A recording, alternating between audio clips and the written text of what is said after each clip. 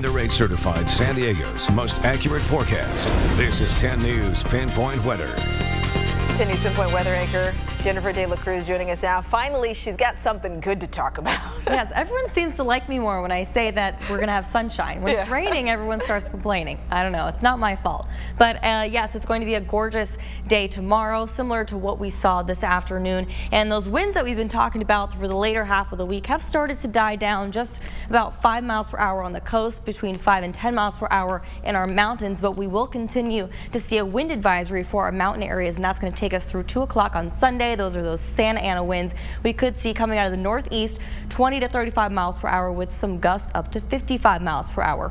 For now, though, it's shaping up to be a really gorgeous evening, mostly in the 50s on the coast, 55 in La Jolla, 54 in San Diego, 42 in Poway, and 35 in chilly in Ramona. Your inland day planner tomorrow is going to be a great day to get outside. Light to variable wind in the morning hours between uh, 9 o'clock in the morning, 57 degrees and nothing but sunshine and blue skies taking us through your afternoon. If you're heading out to the Farmers Insurance Open, it's going to be a gorgeous day for Champions Day. 7 o'clock in the morning will be nice and cool, around 52 degrees, warming up into the upper 60s by noon, and that's going to take us through the afternoon with a little bit of breeze picking up later on.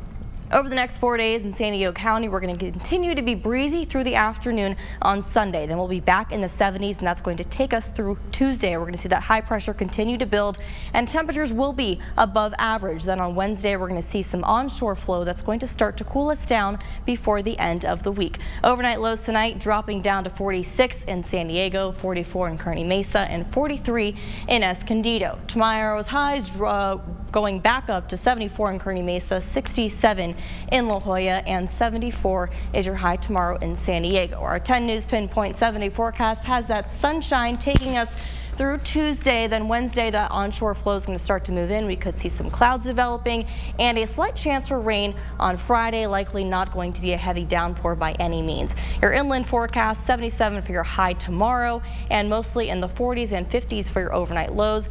Our mountains are still going to be breezy tomorrow. Those are going to die down and we're going to see nothing but sunshine for the rest of the week.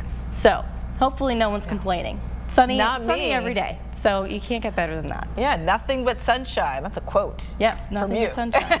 I'll, I'll do my best to keep it coming. Okay, thank you, Jennifer.